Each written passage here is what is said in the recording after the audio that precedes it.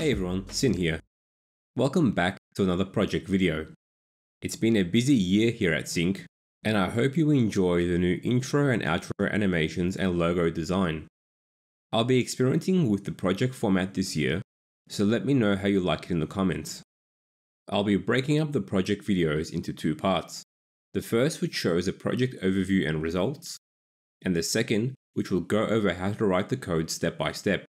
In this video, I'm going to show you how to control a pan and tilt servo configuration in LabVIEW, with a laser pointer sprinkled in for fun, creating a LabVIEW controllable laser turret.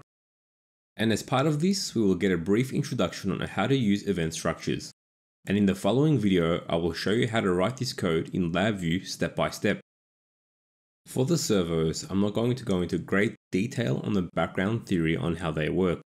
There are plenty of resources for that including my earlier videos linked on screen and down below. I'm also not going to go into how to wire up the laser diode, as I'm assuming if you already don't know how to do this, then you shouldn't be playing with lasers. Lasers are a serious eye hazard, and you risk permanent eye damage if you do not wear the proper personal protective equipment. Now that we have the warnings out of the way, we will briefly go over the video structure. First, we will go over the parts and circuit schematic, then as usual, we will write some test code in the Arduino IDE to confirm our circuit. And lastly, we will bring it all into LabVIEW using the LINX toolkit, which has now been renamed the Hobbyist toolkit. For the LabVIEW section, we're going to achieve two control methods. The first, a very simple manual control setup where we control each axis separately using numeric slide controls. And the second, a more advanced method of control by tracking mouse position and using the keyboard directional arrows as inputs to determine the servo position. In this project, I am using a 2-axis pan and tilt configuration with a pair of MG996R servos that I picked up off eBay. You can just as easily 3D print the pan and tilt brackets if you have access to a 3D printer. With this configuration, we will be able to pan along the x-axis to the left and right and tilt up and down along the y-axis, covering a 180 degree range of motion for each axis. The circuit schematic is straightforward and is as follows. Connect the 5 volt power input wire of each servo to the 5 volt rail of your power supply. For me, this is the servo red wire. Next, connect the ground wire of each servo to the ground rail of your power supply. For me, this is the servo brown wire. Please also make sure your Arduino is also connected to the ground rail of the power supply so you have a common ground across the circuit. Next, connect the signal pins of each servo, the orange wire in my case, to a PWM enabled pin of the Arduino. As we will be using the duty cycle of the PWM signal to adjust the servo position, in this case I am utilizing pins 5 and 6. For a full list of PWM enabled pins, consult the Arduino website or pause the video and take note as seen on screen. And lastly, power your Arduino by connecting it to your PC via the USB cable. Now you're ready to upload some code. However, before we move on to the code, I just want to discuss the issues that can arise if you do not properly power your servos from an external power supply and instead use the Arduino 5V header, which will cause your circuit to experience a brownout reset. A brownout will occur because the servos will load the Arduino 5V rail, causing a significant drop in the power reaching the microcontroller, resulting in a reset. A quick demonstration is shown on screen. When I run the LabVIEW code and move the servo, a timeout occurs because the Arduino has reset and lost communication with LabVIEW. So if this is happening to you, use an external power supply for your servos. You also must ensure the power supply you use is capable of providing the servo's rated stall and operational currents. If you expect to utilize the full payload capabilities of the servos. To determine this, consult the data sheets for your servos. For these servos, the stall current is 2.5 amps and the operational current is 1 amp. So a power supply rated to a minimum of 2 amps is recommended, but 5 amps is preferred. And as you can see on screen, the current drawn by the servos easily exceeds the 40 mV 5 v rail of the Arduino, even for basic movement of only one servo. Now we have wired everything up, Let's test this configuration out by uploading a simple Arduino sketch. The Arduino code is pretty simple. We just want to test the servos are panning and tilting for their full range of motion and thus confirm our circuit is working as intended.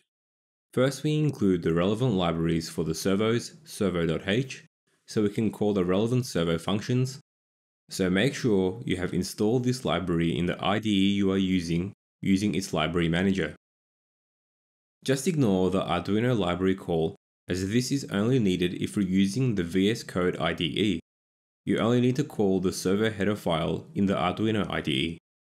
Next we define our servo objects for both the pan and tilt servos.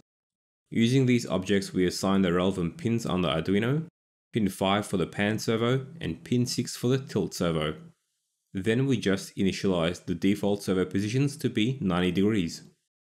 Now we cycle 3 4 loops to pan and tilt the servos. The first two loops will increment a counter from 1 to 179 with a 50 millisecond delay between each loop iteration. This represents the range of motion of 1 to 179 degrees for the pan and tilt servos respectively. The third for loop will cycle the pan servo in the opposite direction of the tilt servo simultaneously. This way you can see them working together. So once you've uploaded and tested this to confirm everything is working as intended, we can move on to LabVIEW.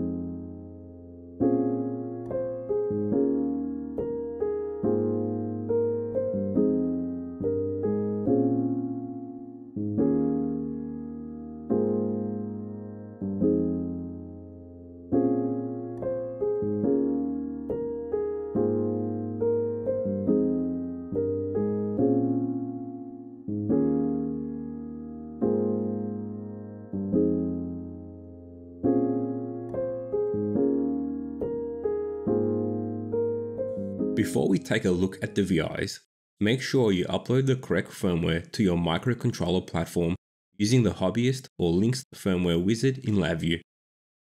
If you don't know what I'm talking about, that's okay. I will go over how to do this in detail in part 2, as well as how to write each VI we go over here. The first VI we are going to use is quite straightforward. We define the servo channel in a numeric array. Then using numeric slide controls, with set values in the range of the acceptable pulse widths, we're able to control the servo positions. Looking at the block diagram, starting on the left, we initialize the error cluster with a constant value and pass the Arduino COM port to the OpenVI to initialize the VISA session.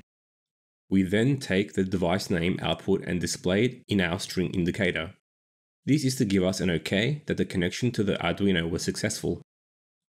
Then we specify the servo channels we are going to be using in the numeric array and pass this reference to the servo open, set pulse width, and close servo functions. And finally, we pass the numeric slider value into an array by using the build array function, which is then passed to the set servo pulse width function, which allows us to set the servo positions. And that's pretty much it. Now we can control our servos. Oh, and don't forget to wire your error cluster and stop button to the loop condition. This is to make sure it stops when you want it to, or if there's an error in the VI. Let's see this VI in action.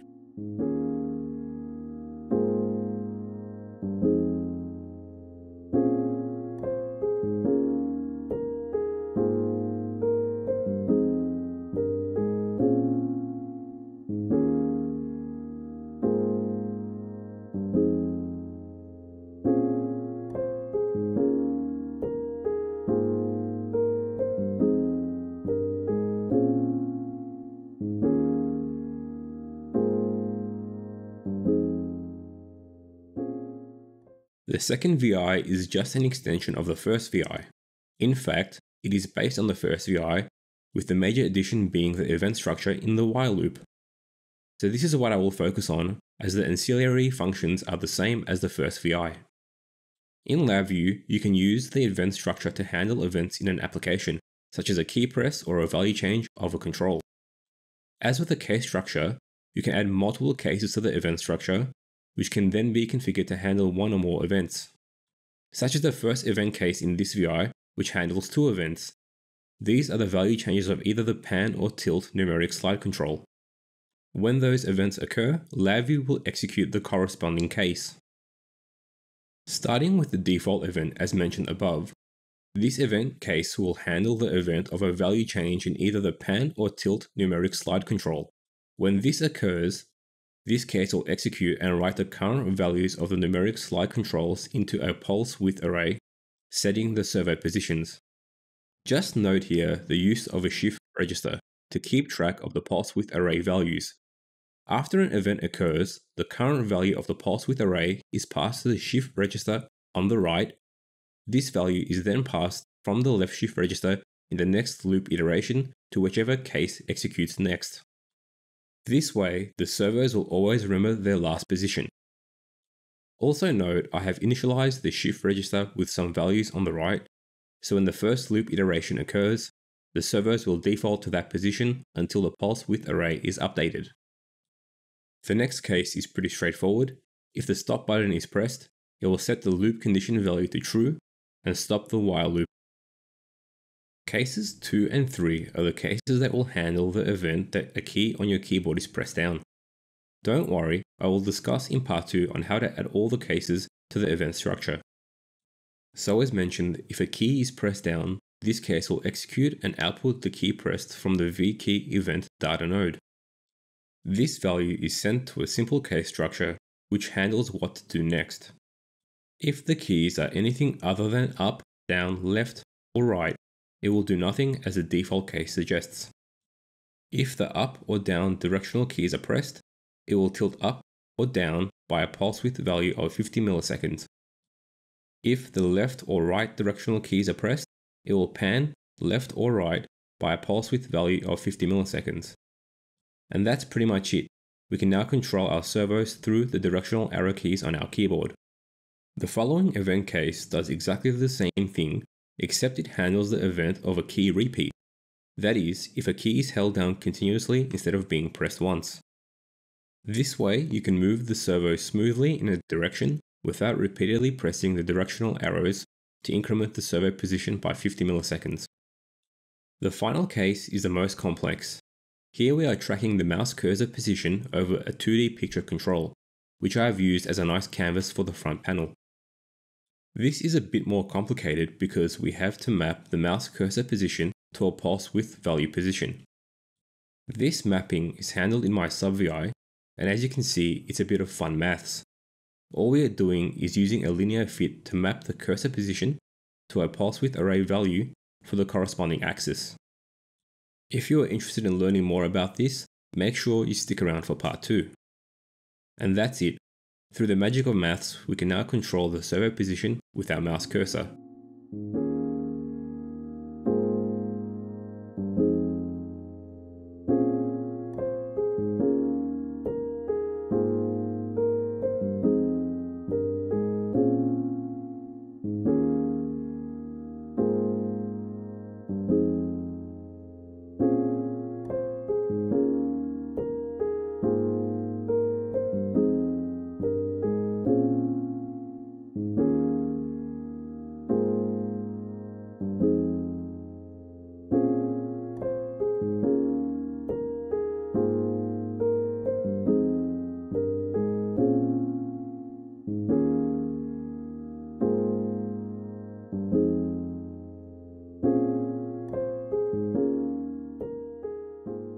That concludes part 1 of the LabVIEW Laser Turret project. Stick around for part 2 where I will go into detail on how to write each VI and explain the logic behind it in a bit more detail. Thanks for watching and if you enjoyed this video, please make sure you subscribe and hit the like button. See you in the next part.